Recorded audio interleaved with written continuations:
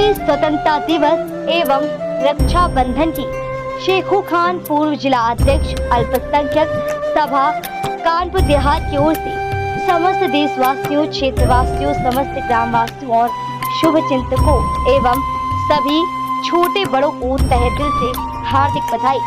भारत के यशस्वी प्रधानमंत्री नरेंद्र मोदी की राष्ट्रीय योजना, मेरी माटी मेरा देश की श्रृंखला में भाग लेकर देश का गौरव बढ़ाएँ और अपने अपने घरों पर राष्ट्र का प्रतीक के तिरंगा फहराकर हर घर तिरंगा कर सफल बनाकर देश का सम्मान करें। शेखू खान, पूर्व जिला अध्यक्ष, अल्पसंख्यक सभा, कानपुर देहात की ओर से उन्हें सभी को सशक्तरवें स्वतंत्रता दिवस की हृदय से हार्दिक बधाई।